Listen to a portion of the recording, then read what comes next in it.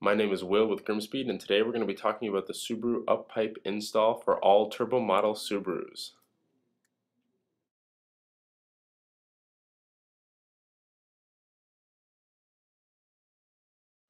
Now just as a heads up we did remove the heat shields and under tray ahead of time so you will not see that.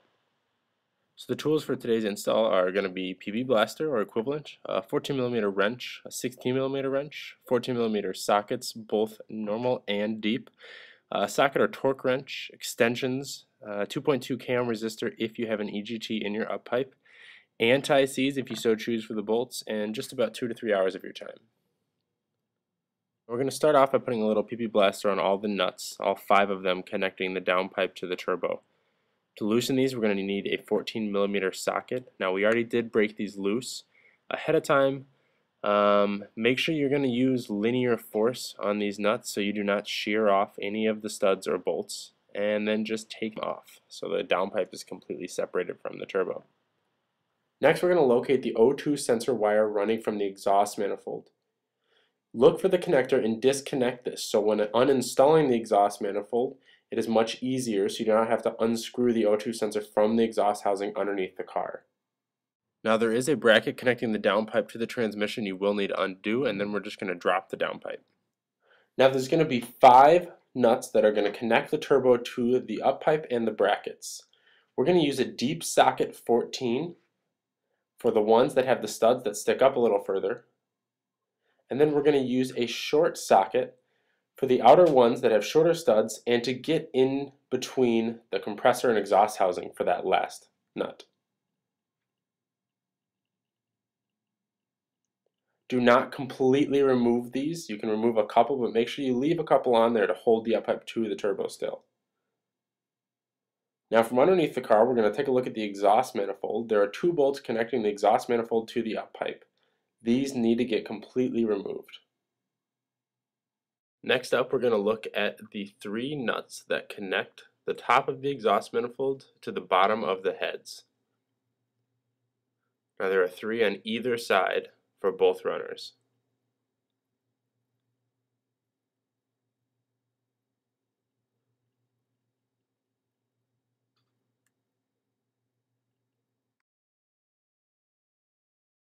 We're going to start off by loosening up the three nuts on each side of the exhaust manifold and the two bolts that connect to the up pipe.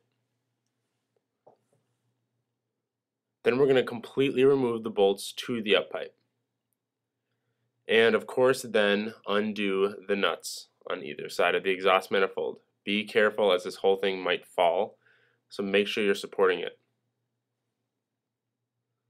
Then we're going to the top, and we are going to finally loosen up the top two nuts that we left on the up pipe to hold it to the turbo for stability.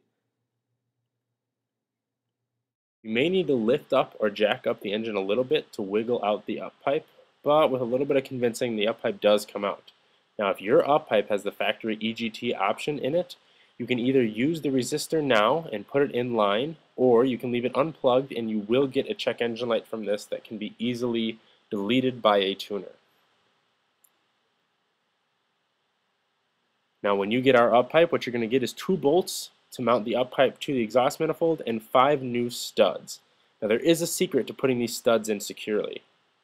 What we're going to do is we're going to take two nuts and tighten them to each other on the stud. You can either do it like this or with the collars facing each other depending on what wrenches you have.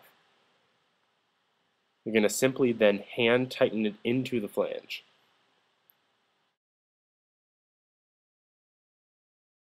Now once these are threaded all the way in, just make sure you take your wrench and tighten it in there so that way the threads lock nice and tight to the flange.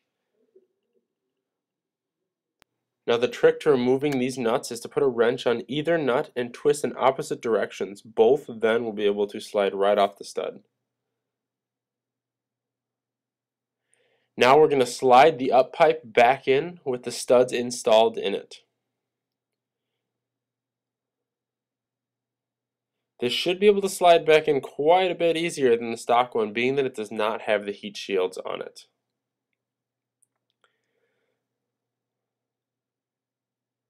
Make sure you get the orientation lined up just about where you're going to need it and set it back down so that way when you go up top you know exactly where to put it. Now up top we're going to use a new gasket here. This is our standard thickness gasket which is actually 22% thicker than stock. You are always going to want to use a new gasket especially at such a critical connection point. Now we're going to pull the up pipe into place and push the studs through the holes and we're actually going to screw on a couple of nuts just to hold it in place.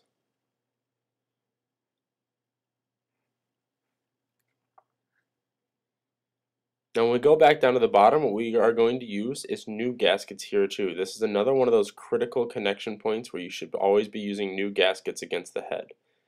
You can actually slide these on and the stud should hold them in place.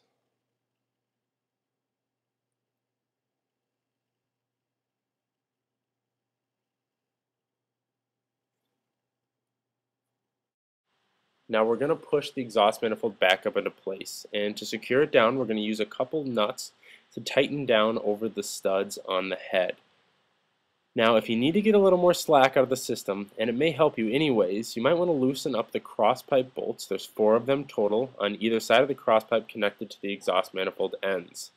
This should help with installation especially if you have an aftermarket turbo. Now what we're going to do here is slide one bolt through slightly and get our new gasket and put just one hole of the gasket with the bolt.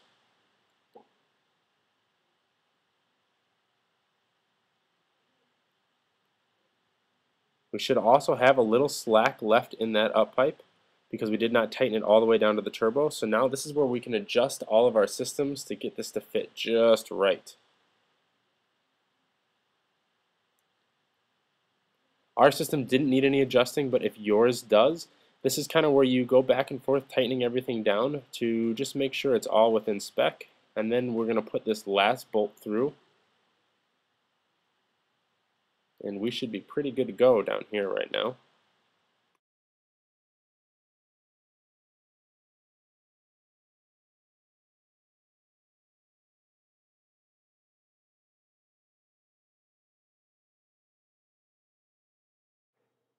We're just going to make sure these are hand tightened down.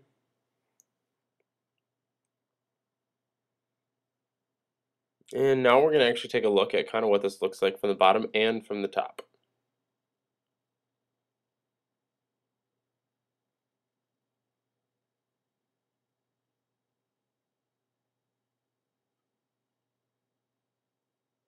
Fits in there nice and snug, doesn't rub on anything, and the fitment should be spot on.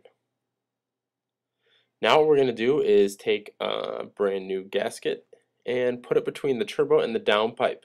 Once again, this is another critical connection point that you need to make sure is sealed correctly.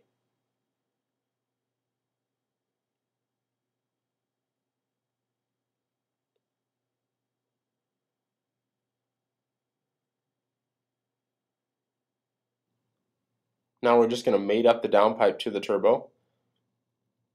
We're going to set it on one of these studs and then we're going to put two of our bolts in and tighten these down. The torque specs on this are 26 foot-pounds.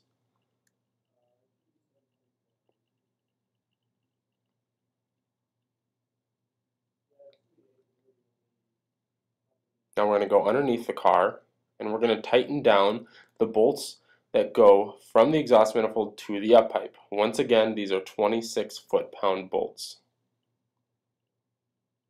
Now once these are all tightened up, we're going to take our wrench with an extension and we're going to tighten down the nuts that go onto the studs to the head.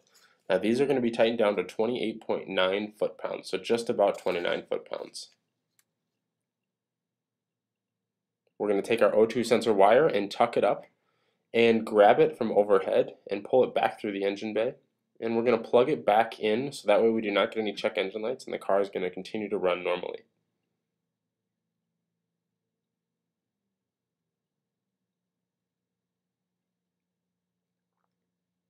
Once this is plugged in, that should about complete your install. Just make sure you've uh, double checked all the bolts and make sure it's all tightened down. Now you're running a new GrimmSpeed up pipe.